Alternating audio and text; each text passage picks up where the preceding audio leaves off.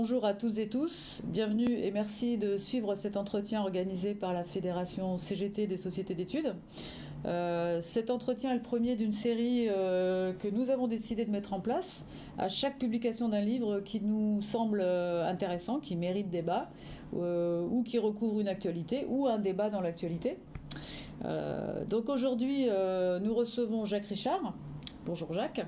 Alors Jacques, tu es docteur en sciences de gestion, expert comptable, professeur émérite à l'université Paris-Dauphine et ancien membre de l'autorité des normes comptables, ANC. Alors tu auras l'occasion de nous expliquer de quoi il s'agit hein, euh, exactement. Hein. Tu viens de publier en collaboration avec Alexandre Rambaud un, un livre intitulé Révolution comptable aux éditions de l'Atelier, que j'ai là. Alors, si on a décidé de t'interviewer, c'est aussi parce que ce titre bah, nous a interpellés euh, en tant que syndicalistes. Euh, tant la proximité, j'ai envie de dire des termes, révolution et comptable, elle est assez atypique. Hein, euh, ça semble même d'apparence assez éloignée. Donc euh, euh, la raison de cette invitation, c'est aussi parce qu'en cette période de pandémie, euh, due au coronavirus, et surtout pendant la période de confinement, il y a un débat qui, a surgi, c'était de savoir le jour d'après, qu'est-ce qu'on fait? Toi, tu proposes pour changer de société une transformation radicale, et tu as écrit, enfin vous avez écrit un manifeste qui propose une révolution comptable, c'est-à-dire de revoir les fondements du capitalisme en disant si on modifie certains paramètres, notamment le fait d'intégrer que le capital, le capitalisme ne soit pas que on va dire, responsable ou comptable justement euh, du capital financier, mais aussi du capital humain et naturel, on pourrait réellement modifier les choses et donc avoir euh, une vraie influence dans la société. Euh, tu parles aussi de dissocier le vrai capitalisme du faux capitalisme. Donc, euh, ce qu'on aimerait, c'est savoir qu'est-ce que tu veux dire euh, par rapport à ça.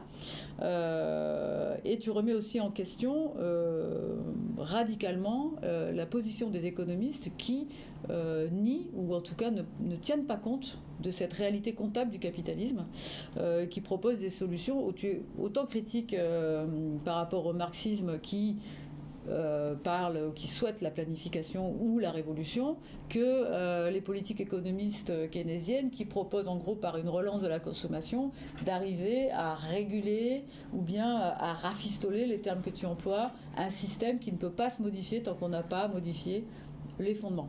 Alors la première question, Jacques, c'est euh, est-ce que tu peux expliquer ben, ce que c'est que la comptabilité capitaliste dans le détail, son origine, son évolution, et qu'est-ce que c'est que cette révolution comptable? Alors d'abord, euh, merci beaucoup de, m'inviter. Euh, c'est vraiment euh, avec plaisir. D'ailleurs, je dois à la CGT une partie du fait d'être là et de présenter ce livre, puisque j'ai eu l'honneur pendant des années d'être le représentant de la CGT dans les organismes comptables tels que le Conseil national de la comptabilité et l'autorité des normes comptables. Donc euh, j'ai appris euh, beaucoup aussi en donnant des cours à la CGT aux administrateurs salariés. Donc ce livre, il n'est pas totalement, et c'est un euphémisme, euh, sans rapport avec la CGT et je suis à nouveau très, très heureux d'être ici. Alors pour répondre à cette question, j'ai d'ailleurs commis un, autre ouvrage là, qui va paraître dans les éditions Routledge en anglais, qui est plus scientifique, disons, parce que là, il s'agit d'un manifeste, et qui montre que finalement, la plupart des économistes, y compris Marx, hein, qui pourtant a été le, celui qui a été le plus loin dans une analyse des réalités concrètes du, capitalisme, eh bien, euh, ces économistes n'ont pas compris mais ce qu'était le capital. C'est hallucinant dans un sens, parce que le concept de capital, c'est un concept névralgique, et en fait, euh, il faut dire aussi que les comptables eux-mêmes, qui ne sont pas des historiens de la comptabilité, en général, ils ne s'intéressent pas du tout à l'histoire, ont du mal à comprendre leur propre logique, logique comptable. Alors, le, fait majeur, c'est qu'alors que les économistes considèrent que le capital, c'est un actif, c'est un moyen, hein, on connaît le cycle marxiste, argent, monnaie, argent. Tout ça, c'est c'est ce qu'on euh, chez les comptables ce qu'on appelle un actif, hein, c'est-à-dire des moyens, des ressources, on me dise, hein, des moyens d'agir. Mais le capital chez les comptables, depuis la fin du Moyen Âge, au moment où se crée en Italie du Nord euh, les premières euh, manifestations de, cette nouvelle, de ce nouveau capitalisme, parce que le capitalisme il est très très vieux, hein, mais le capitalisme moderne, disons, tel qu'il naît vers la fin du Moyen Âge, qui est très différent des anciens, ce capitalisme, en fait, le capital ne figure pas, n'est pas du tout un actif. C'est un passif, une dette.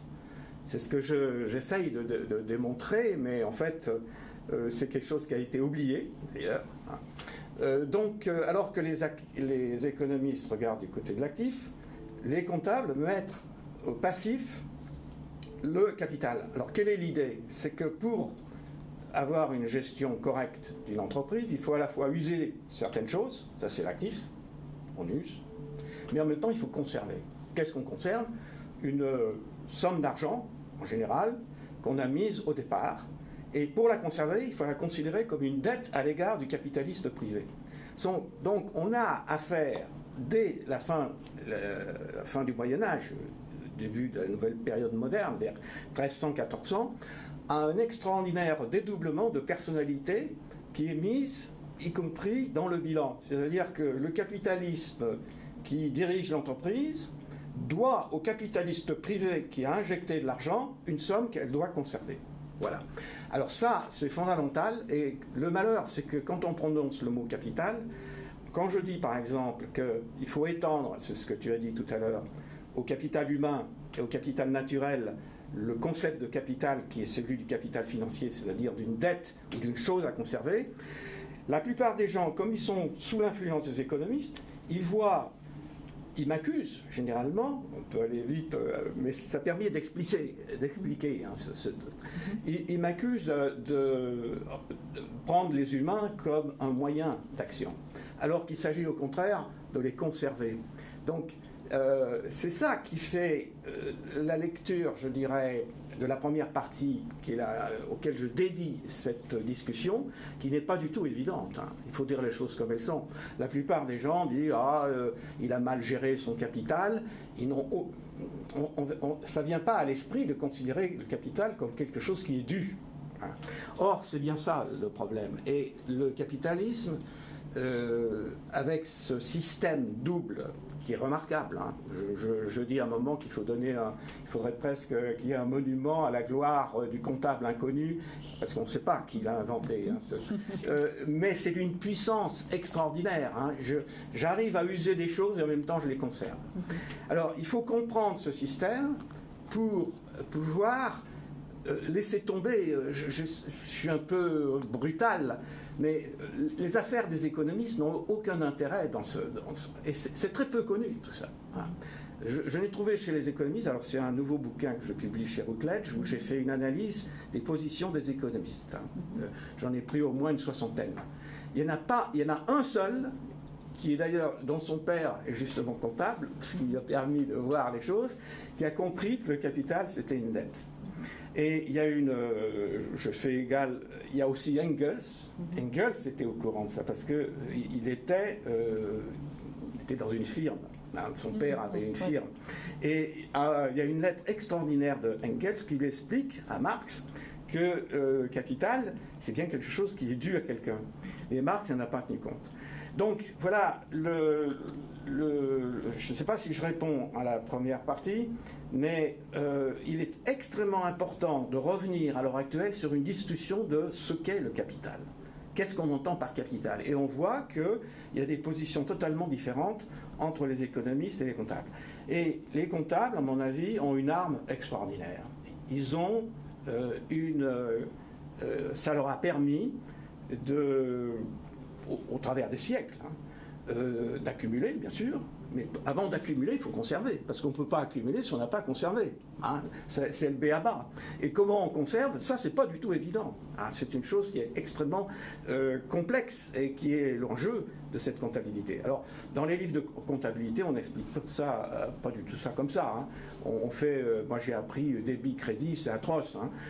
mais derrière tout ça, c'est ce que j'essaye, avec l'aide de, de, personnes avec qui je travaille, notamment Alexandre Rambaud, d'essayer de voir ce qu'il y a comme idéologie derrière. Parce que c'est une idéologie. Quand je dis le seul capital que je conserve, c'est le capital financier, il est clair que c'est un choix idéologique. C'est clair. Et euh, on n'est plus dans des trucs techniques. À ce niveau-là.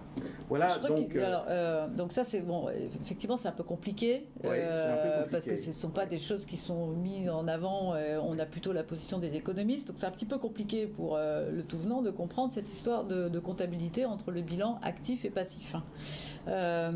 alors j'aurais aimé que tu reviennes un petit peu plus en détail justement sur le capital financier, que les gens comprennent bien, qu'en gros c'est ce que tu dis, avant de faire une plus-value, avant d'avoir un bénéfice, et c'est vrai que quand on a euh, un peu une, une, culture marxiste, euh, on, définit le capitalisme par le fait que ce soit une plus-value. Mais avant ça, le vrai but du capitalisme tel qu'il a été inventé, c'est de conserver ce que en gros, là, vraiment, je le vulgarise. Ce que je mets dans la balance pour produire, d'accord, il faut que ça me revienne. C'est la seule obligation on va dire pas morale, mais pour le coup juridique ou contractuel, je ne sais pas, euh, que, euh, que je m'impose. Mais donc c'est évidemment capital pour le coup, parce qu'on ne parle pas ni de, euh, de, le capital humain, c'est-à-dire du coup le travail. après, je vais embaucher des salariés, d'accord, mais je n'ai aucune obligation de conserver le capital humain, encore moins euh, le capital naturel, c'est-à-dire si je dois produire, je me sers de matières premières, d'accord. Euh, je n'ai aucune. Alors après, moi, je vais dire de responsabilité, parce qu'on est beaucoup aujourd'hui dans la responsabilité sociale et environnementale. Donc on nous fait, on nous fait croire qu'il y aurait une RSE. Euh, donc ce que je, ce que je, ce dont je me sers pour produire, c'est-à-dire les gens et la nature, euh, je devrais en être aujourd'hui euh, responsable ou comptable. C'est-à-dire pas que le capital financier, mais tout ce que j'utilise. Sauf que pour l'instant, la RSE, responsabilité sociale et environnementale, ne donne aucune obligation en fait. Et ce que tu dis toi, c'est que si c'était déjà dans la comptabilité, c'est-à-dire si les normes comptables internationales obligeaient les entreprises à avoir ça, on pourrait changer le monde. Alors juste avant de, répondre à ça, si j'ai bien, si c'est une bonne définition de ce que tu fais, euh, juste le capital financier, de, préciser, c'est quel, c'est quel argent, c'est, euh, est-ce que ce sont des dettes, etc. De le décrire un peu avant de. Euh, avant que j'oublie, d'ailleurs, la seule responsabilité qu'ils ont endossée totalement, c'est une responsabilité vis-à-vis de leur capital financier. Par contre, pour les deux autres, ce sont de simples moyens qui sont euh, livrés au marché pour ce qui concerne le marché du travail et qui sont livrés à l'extraction euh, des ressources euh, sans aucune obligation stricte de conservation. Alors, pour prendre un exemple concret, quand on fonde une entreprise, hein, la première opération, on apporte de l'argent admettons que mes économies, euh, je deviens capitaliste, euh, j'apporte 1000, 1000 qui peut être des milliards, des millions. Qu'est-ce que je fais? J'ai une écriture double. C'est ça qui est extraordinaire. Alors, à l'actif, on voit apparaître 1000 de cash, c'est-à-dire de caisse, d'argent concret. Ça, c'est le moyen qui va permettre d'acheter des marchandises, ensuite euh, de revendre ces marchandises, etc. Alors pourquoi on l'inscrit les 1000 de l'autre côté? C'est ça qui est remarquable. Sur le passif, tu veux dire. passif. pourquoi on met. Sur la comptabilité. A priori, ça semble complètement idiot. On a déjà les 1000 à l'actif. Mhm. Pourquoi on les inscrit aussi au passif? Bien, tout simplement parce que le capitaliste se dit moi, j'ai prêté 1000 à cette entreprise, elle me doit me rembourser 1000. Même si c'est mon entreprise. Absolument. C'est donc l'invention de la future responsabilité voilà, c'est cette responsabilité. Mm. Or ça, cette euh, vision des choses, qui est une vision extraordinaire, c'est que euh, en, sachant qu'il va user les choses à l'actif, il sait qu'il doit conserver 1000 et qu'il doit rembourser en quelque sorte le capitaliste privé, il a une arme de conservation liée à une arme de consommation.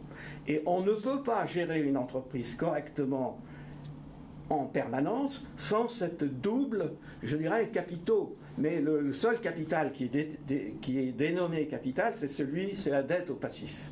Et d'où vient l'origine d'ailleurs étymologique de ce capital?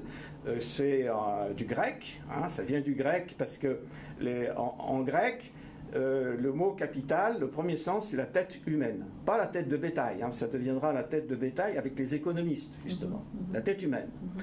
Et le deuxième sens, c'est ce qui est extrêmement important. On conçoit que la tête humaine, c'est la partie du corps, à la limite, qui leur paraissait en tout cas la plus importante.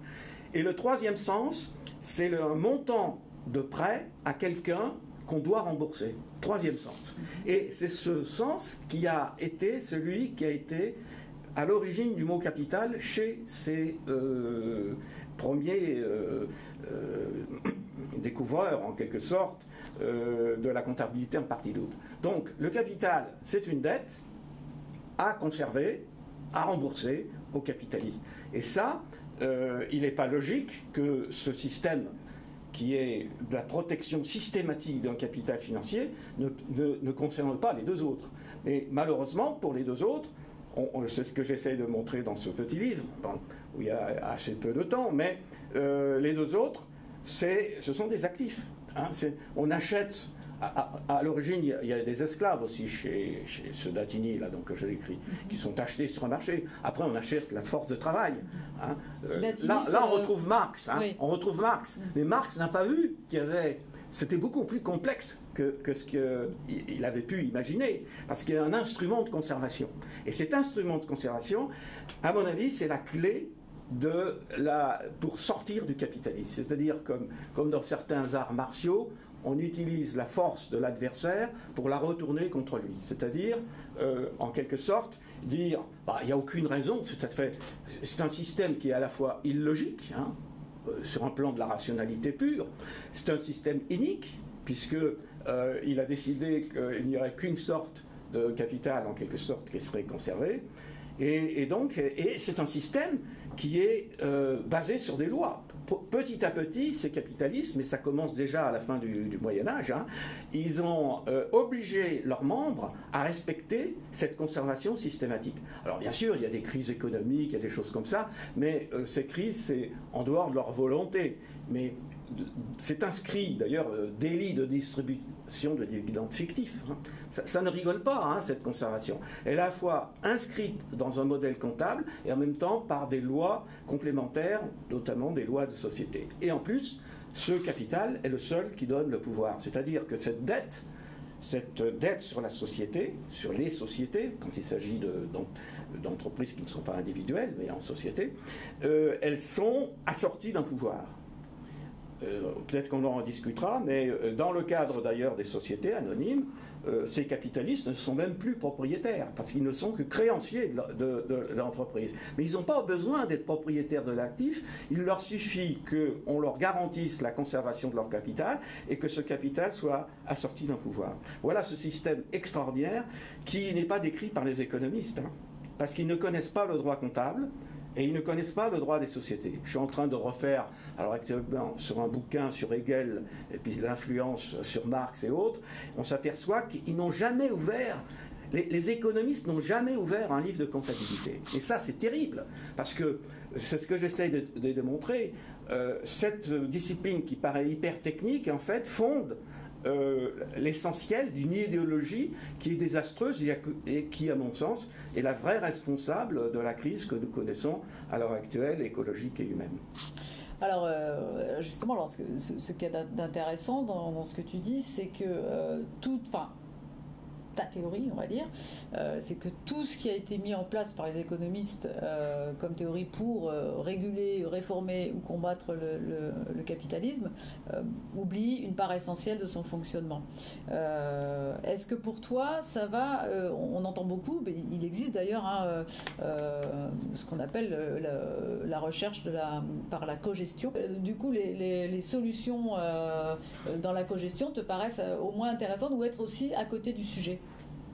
Alors, c'est une question euh, qui est au cœur aussi de mes réflexions, bon, qui sont euh, en perpétuel mouvement. Hein. Euh, je dois dire, j'apprends à chaque fois de nouvelles choses. Mais effectivement, ce, terme cogestion, d'ailleurs, du fait qu'il a été utilisé par l'Allemagne, hein, c'est au, lendemain de la dernière guerre mondiale, dans un contexte social tout à fait difficile pour eux, ils ont dû lâcher du, lest pour avoir une certaine cogestion.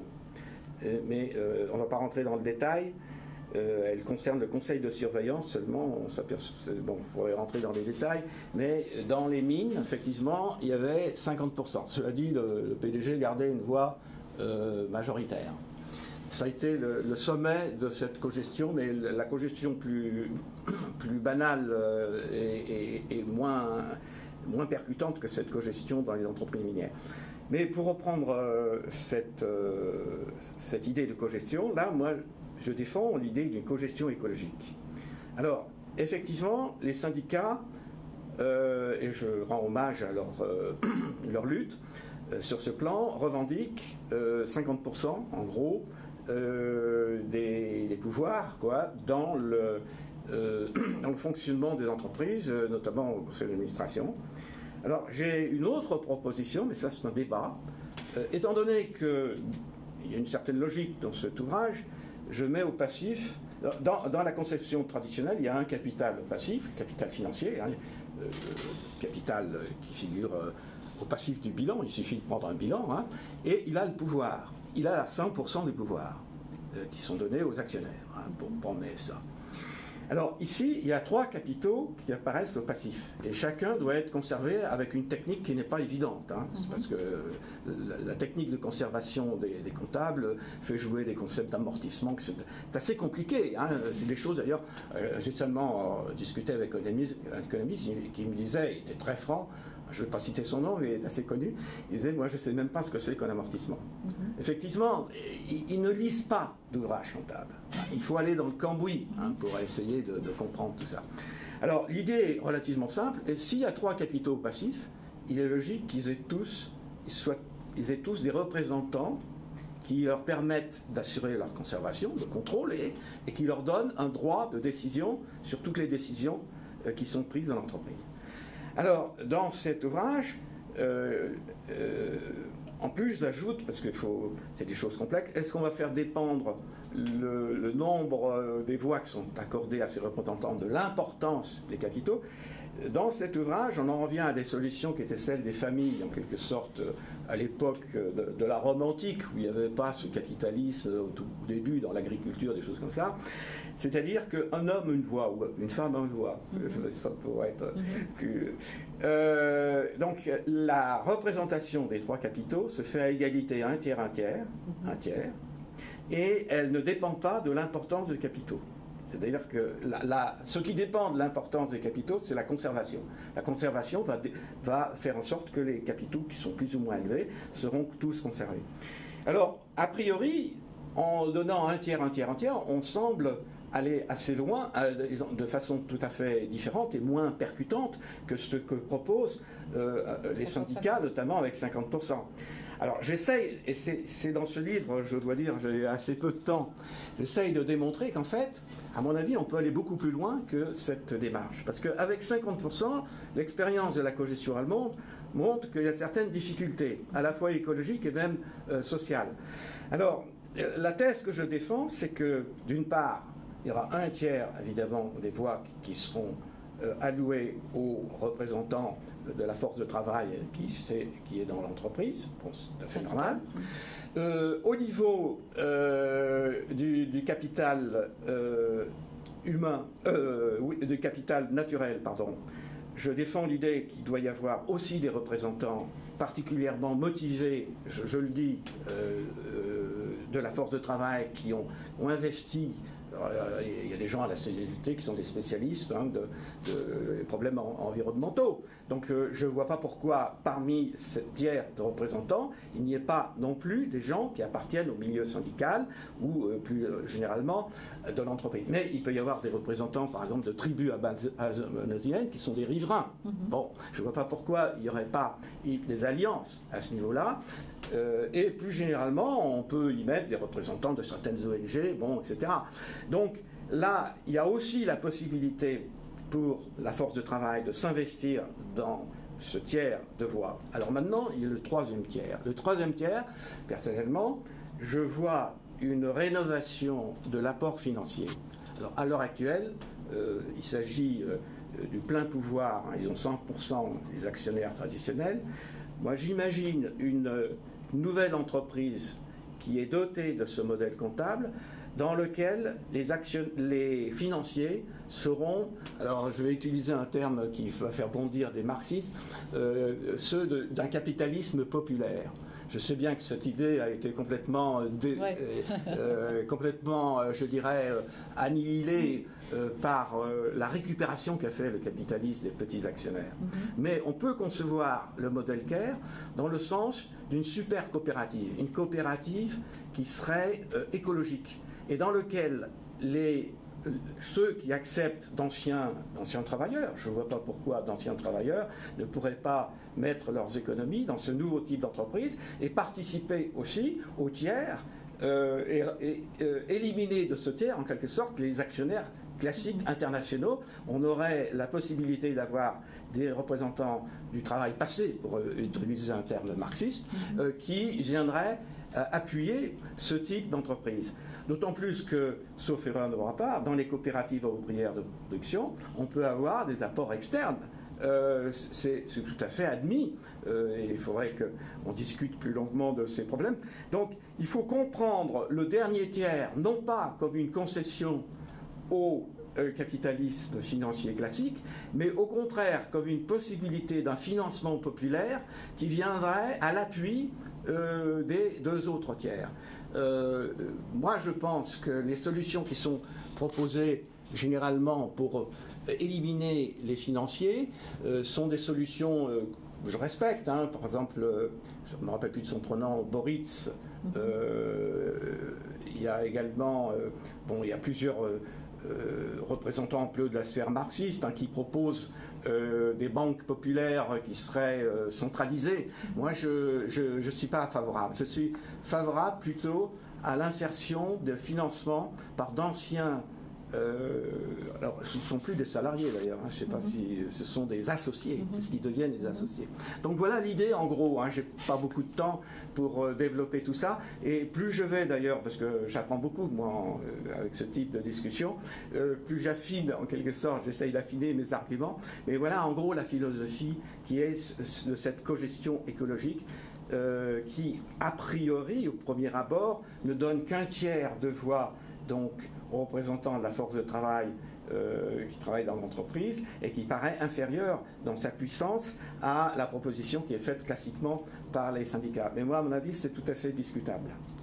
D'accord. Donc euh, là, effectivement, ça rejoint un petit peu le, débat euh, qu'on peut avoir, le questionnement qu'on peut avoir, c'est que toi, tu ne parles pas de, ce que tu dis, c'est que tu parlais, euh, tu parles du capitalisme. Il y a un vrai capitalisme, un faux capitalisme. Tu parles, tu parles pas du tout d'éradiquer le capitalisme. non, tu restes dans une, dans, dans une économie de marché que tu penses qu'il est possible de, réformer. On est bien, on est bien sur ce, modèle-là. Euh, nous, syndicalistes, euh, on est quand même, on, est euh, dans le rapport de force. On pense que de toute façon, le, capital, en tout cas la CGT, que le capitalisme ne pourra pas, sans en tout cas une prise en main des, travailleurs, dans un vrai rapport de force, parce que l'histoire nous l'a appris, qu'on ne pourra pas réformer ce, ce capitalisme-là quelle est toi ton, idée sur le moyen d'arriver Admettons que, la solution soit quand même la révolution comptable, c'est-à-dire qu'un jour on arrive, qu'un pouvoir politique arrive à euh, contraindre le capitalisme et le pouvoir économique à changer, à prendre en compte la nature et les droits humains. Euh, comme étant quelque chose à conserver être responsable de ça. Euh, comment est-ce que tu euh, penses y arriver sans, en gros, euh, un rapport de force conséquent des, syndicats Alors, comme je disais tout à l'heure, tu t'adresses beaucoup aux, formes de militantisme hors institution, hors syndicat, hors force politique actuelle. Comment est-ce que tu, envisagerais de, parvenir à cette révolution comptable? Je, dois dire que euh, dans cet ouvrage, je parle assez peu des syndicats. Je, mentionne, leur, importance plutôt au niveau de ce que j'appelle l'étude ontologique. Hein. Euh, c'est-à-dire qu'avant de conserver, il faut savoir comment les gens sont, euh, dans quel état. Alors ça, les syndicats ont un rôle irremplaçable. Hein. Je, rends hommage à ce rôle déjà, et qui reste très important. Mais pour autant, je ne... je dois reconnaître que euh, le rôle des syndicats dans la euh, pression, comme tu le dis, euh, sur les instances est fondamental et leur rôle éducatif est également extrêmement important. la seule chose que je puisse dire parce que chacun ses registres. Hein. je ne suis pas un militant syndical, en tout cas, j'ai pu l'être un petit peu dans l'enseignement, mais je ne prétends pas du tout avoir cette expérience que, vous avez. Mais je pense que pour être aussi efficace, il faut avoir des idées de ce qu'on veut mettre à la place du système qu'on va renverser. Il me semble qu'il est extrêmement important euh, d'afficher un certain nombre d'objectifs, même si on les révise. Hein.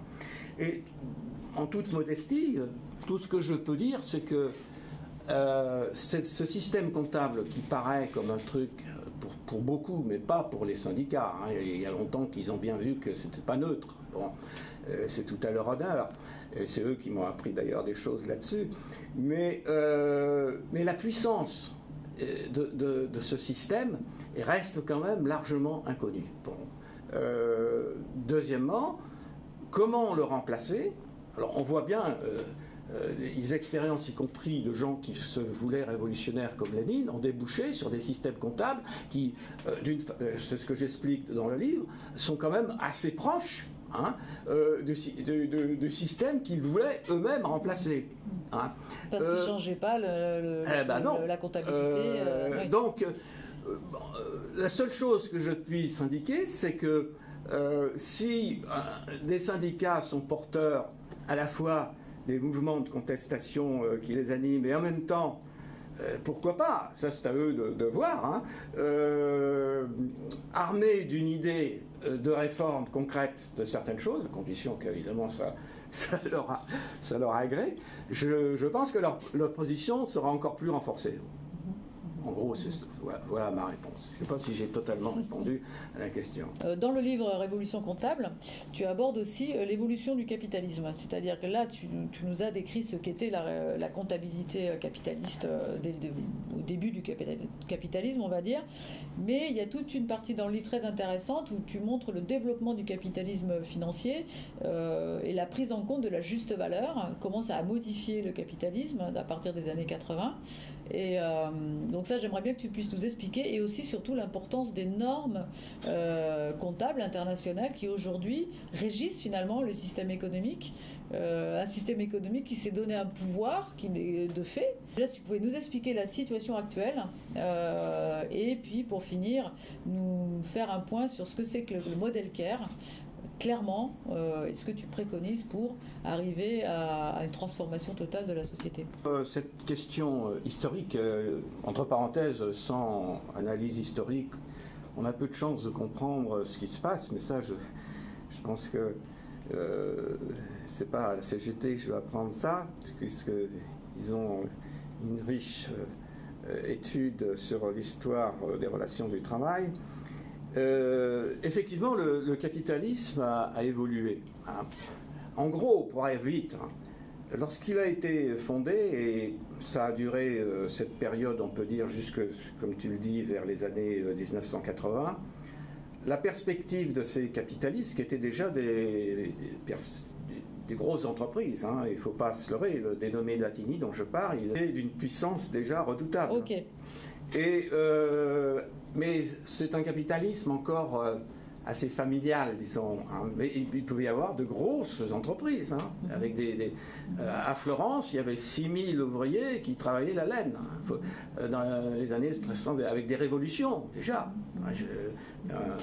et, mais alors, ces gens-là, à la différence du capitalisme d'aujourd'hui, ils n'avaient aucune intention de revendre leur entreprise. Leur idéal, c'était de trans transférer leur firme à leur fils. Hein, sexisme oblige, comme je le dis. Bon. Et euh, alors, à partir du moment où on se dit, moi, je veux garder mon entreprise, et qu'elle soit euh, continuée par euh, mes fils, on n'a pas besoin de revendre son entreprise. C'est une aberration. Au contraire, il faut la conserver. Et c'est justement ce qui explique l'intérêt de cette forme de capitalisme avec une l'invention de la protection par le capital financier comme dette, et en même temps les actifs ne sont pas évalués en valeur de revente. Bien, entendu, quand on vend une marchandise, on va quand même l'évaluer en valeur de revente. Mais les autres actifs, par exemple les machines et autres, euh, l'idée d'une juste valeur des machines ou de juste valeur euh, euh, de marchandises, hein, même pour les marchandises qui viennent d'acheter, ils attendent qu'elles soient revendues pour comptabiliser un bénéfice. Ils ne sont pas des fous. Euh, ils vont pas euh, vendre la peau de l'ours avant d'avoir ah, tué. Il faut expliquer la, juste valeur en fait. Oui, c'est une valeur de marché. D'accord. Hmm. C'est soit une valeur de marché pratique, c'est-à-dire que, pour être concret, euh, un type comme Datini, lorsqu'il a un stock de matière ou un stock de marchandises qu'il n'a pas vendu, elles sont à son coût d'achat il attend mhm. pour les mettre au prix de vente qu'il ait vendu et tirer son bénéfice. Par contre, à l'heure actuelle, la grande mode, c'est la juste valeur. On dira, ah ben, elle doit figurer, parce que les, économistes qui veulent, c'est calculer la richesse. Datini ne voulait pas calculer la richesse de, de son entreprise. Il voulait qu'elle fonctionne et qu'elle lui apporte un profit réalisé, qu'il puisse réinvestir, accumuler. Mais on n'a pas de trace d'évaluation de, la valeur de l'entreprise dans ce modèle. Et c'est ce modèle qui va euh, demeurer jusque vers 1970-80, euh, à l'époque où se euh, passe cette révolution de la juste valeur. Alors, la juste valeur, elle, c'est une invention d'économiste, ce n'est pas une invention de comptable. Hein. Ce sera dénommé Irving Fisher, hein, mais précédé, alors là c'est encore mon, co, Alexandre Rambaud, Alexandre Rambaud a, fait une découverte extraordinaire en allant fouiller dans l'ouvrage de mathématiques de Pacioli hein, dans les années 1480. Euh, euh, et ce type, il a déjà inventé la juste valeur. Mais il était tellement en avance, c'est un ovni, hein, mhm. type. Ça, c'est très peu connu, je ne peux pas le relater ici. Euh, j'ai un autre bouquin là, euh, qui relate en détail à l'appui avec, euh, qu'on fait avec Alexandre. Mais Irving Fisher a dit non, ce qu'il faut, comme nous économistes, ces bilans des comptables, c'est affreux, c'est nul. on ne trouve pas la richesse de l'entreprise, celle qu'on pouvait vendre sur des marchés. Donc il faut tout réinscrire. en théorie, il faudrait que tous les actifs témoignent de leur valeur de euh, revente. Et de cette façon, euh, Fischer disait, on fait apparaître un bénéfice plus tôt et on doit le distribuer, ce qui est une aberration pour les types qui étaient prudents comme euh, ce, ce, Latini.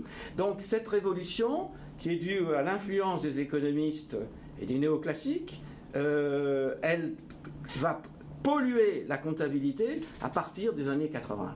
Alors nous, dans ce bouquin, on revient justement à ce qui est considéré comme euh, une nullité par la, quasi-totalité des économistes, hein, cette vision d'une entreprise dans laquelle les actifs ne figurent pas à leur juste valeur. Pour eux, c'est une aberration.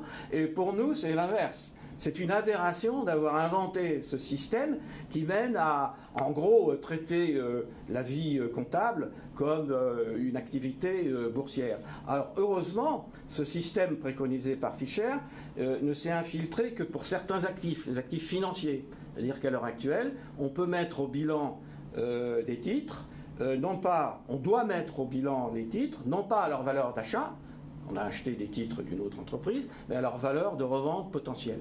Or ça, déjà, c'était complètement, euh, je dirais, euh, euh, contradictoire avec les intérêts de. On voit comment ce capitalisme est devenu de plus en plus dangereux, de plus en plus imprudent. Et, donc, c'est ce qu'on essaye de montrer ici, mais sous une forme Hein, il s'agit d'un manifeste, hein, il n'y a quand même pas beaucoup de place mhm. pour euh, euh, rentrer dans les détails. Mais ça, la plupart des syndicalistes connaissent mhm. cette, évolution et sont victimes d'ailleurs, je dirais, de la pression, parce que quand on, a en plus non seulement un bénéfice réel à, accumuler, mais en plus un bénéfice que je peux dire potentiel, euh, la puissance de ce système. et donc, ça débouche sur des normes aussi.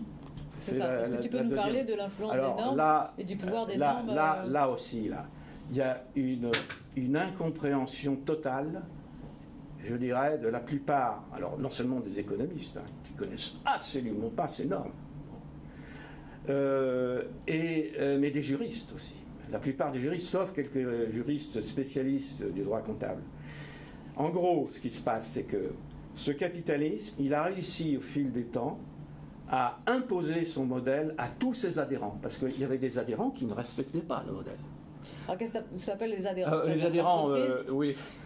C'est des confrères capitalistes qui, dans des périodes, par exemple, de crise, faisaient du dumping en ne passant pas certains amortissements pour pouvoir gonfler mhm. leurs bénéfices et faire croire qu'ils étaient bons. Mhm. Donc, ces gens-là, ils ont mis le haut là. Et euh, toute l'histoire du capitalisme est une histoire de montée en puissance d'une normalisation drastique de tous les aspects comptables. Alors, euh, chaque comptable, euh, en tout cas qui se respecte, y compris ceux qui traitent de droit international, a un énorme bouquin, ce qu'on appelle les normes comptables internationales de 4000 pages, 3 à 4000 pages, dans lequel sont codifiés tous les détails de tenue de la comptabilité. Il faut les capitalistes ne sont pas maîtres de, euh, ils ont créé un système eux-mêmes, hein, mais un capitaliste individuel ne peut pas faire ce qu'il veut. Donc on a euh, ce qu'on ne connaît pas à l'heure actuelle, c'est que on, sait que pour euh, se mettre, quelle difficulté il y a pour se mettre d'accord hein, sur un droit environnemental, mais quelle difficulté aussi pour se mettre d'accord sur le code. quand on voit les attaques contre le code, c'est pas à, à vous que je à toi, en tout cas, je vais en parler. Euh, ce code de travail qui traité comme un pelé, un galeux, euh, parce qu'il est incompréhensible. C'est un code qui est euh, d'une rigide, mais la rigidité, il y a une, elle est derrière ce code, ce code comptable. Mhm. Et ça, les gens ne le voient pas. Hein, la, plupart, même des gens, des juristes, je ne vais pas citer de nom, qui sont des spécialistes de droit international, ne connaissent pas ce droit. Or, ce droit, c'est ce que j'essaye de démontrer, il mène le monde. C'est pas, c'est pas c'est pas les, économistes qui euh, sont derrière euh, la structure fondamentale. Les économistes interprètent euh, mal, à mon avis d'ailleurs. mais c'est, il y a un code international. La seule constitution mondiale qui existe, c'est une constitution comptable. Or ça, euh, pour, connaître ça, il faut aller dans le cambouis de ce droit. Voilà. Et donc, moi, je, suis d'ailleurs assez admiratif hein, de ces capitalistes, il faut dire les choses comme elles sont. Ils sont des gens très dangereux, mais ils ont fait une œuvre extraordinaire, extraordinaire. Et elle est très peu connue. Et maintenant, euh, le problème, c'est que, alors, tu, as dit que je conservais le capitalisme, et je le conserve d'une certaine façon. Euh, pas plus tard qu'hier, j'ai été voir euh, euh, sur Internet s'il y avait des, appréciations de mon livre. Notamment, j'ai été sur le site de la FNAC, et il y a une appréciation, la première, sur ce livre, en disant Ce monsieur fait de la politique. Je suis sûr que c'est un expert comptable, parce qu'il est, furieux. Il connaît les trucs, il m'a dit. Et mais euh, on s'attaque là. Là, euh, c'est du sérieux quand on s'attaque à ce système. Et je pense que la CGT, justement, euh, entre autres, parce que critiquer un système, bon, ben, c'est ce que j'essaye de montrer. Encore faut-il avoir quelque chose à mettre à la place. Hein. Mm-hmm. donc je, je pense que c'est, et peut-être je, je, me trompe, hein, euh, c'est plutôt une arme supplémentaire que de proposer un modèle, si tant est qu'il agrée les syndicats, hein, ça c'est mm problème. Mais euh, je pense qu'en alliant un certain nombre, je dirais, d'éléments, on a plus de chances que euh, sans cette, alliance. En tout cas, moi, je pense que les expériences qui ont eu lieu dans les pays socialistes, dits socialistes, malheureusement, ont été des expériences qui euh, n'ont pas su correctement traiter le problème euh, et j'ai la faiblesse de penser que peut-être certaines idées euh, comptables pourraient être utiles. Alors pour finir, est-ce que tu pourrais juste nous refaire un petit, nous redéfinir assez le plus simplement possible la, la méthode CARE Alors en fait, le mot CARE, étymologiquement, en anglais ça veut dire soin, mais c'est relié par exemple à une cure, on fait des soins. Euh, l'idée du curé aussi, hein, c'est celui qui prend soin des âmes. Euh, donc j'ai essayé de trouver un mot qui montrait qu'il y avait un souci de conservation euh, de, soins. il, vaut ce qu'il vaut. Mhm. Ah. Et mais derrière tout ça, bon, l'idée, elle est relativement simple, c'est que les capitalistes ont eu l'idée de prendre soin de leur capital financier et de lui seul, Et mon idée de départ, ça a été de dire, mais pourquoi pas imaginer un, un, tricapitalisme en quelque sorte. Mais alors c'est dangereux un peu pour moi parce qu'on va dire, ah, vous ne sortez pas du capitalisme. En réalité, vous savez, c'est comme dans certains... Quand on chauffe, je ne sais pas s'il est exact, mais bon, euh, certains solides, ils deviennent des gaz, ils, prennent une euh, connotation totalement différente. À partir du moment où vous mettez trois capitaux à conserver, est-ce on n'a plus affaire au capitalisme financier, c'est autre chose. Donc les trois capitaux qui sont, tu, tu rappelles Oui, en plus, le capital, c'est quelque chose à conserver. Si on a trois capitaux à conserver, c'est une révolution par rapport à, à, Ces trois capitaux, donc c'est, il faut le, répéter, donc c'est le capital. Alors, euh, trois grands types de capitaux. Hein, euh, le capital financier, qui d'ailleurs, chacun d'entre eux, il y a une myriade d'éléments. Par exemple, dans le capital financier, la machine A, la machine B, etc. etc. Hein. bon, entre parenthèses, d'ailleurs, ces machines sont, sont conservées d'une façon extraordinaire. Hein. Ils sont au bon soin de ces machines et ils les conservent. Et ils ne conservent pas d'ailleurs forcément la machine en tant que telle. Ce qui les intéresse, c'est de conserver l'argent qu'ils ont mis dans les machines. et, donc, euh, là, il y a conservation euh, capital humain aussi, c'est un, mot qui, dès que je le prononce, fait hurler. Je les comprends dans un sens, un certain nombre, parce que toute l'économie néoclassique parle du capital humain, mais c'est pas du tout le même. Mm-hmm. Là, il s'agit, c'est un capital à user.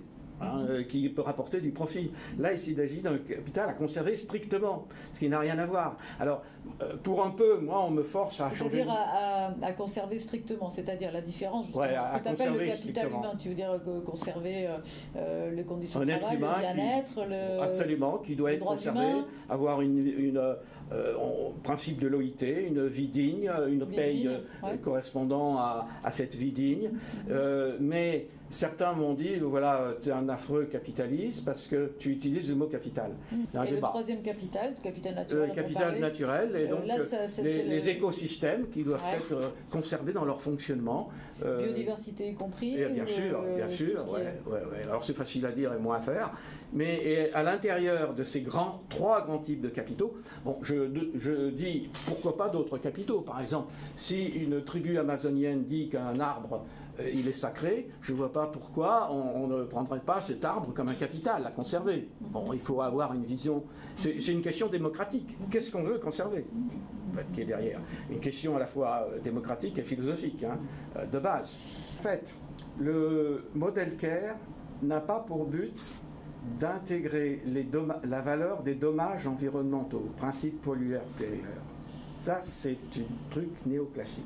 D'accord, mais c'est intéressant de développer ça. C'est néoclassique. Ça. Donc, la Eux, différence. Les, les, néoclassiques, qui sont euh, environnementaux, qui sont meilleurs que les néoclassiques purs, ouais, ouais, considèrent qu'il faut internaliser des externalités c'est le langage. Ça vous la...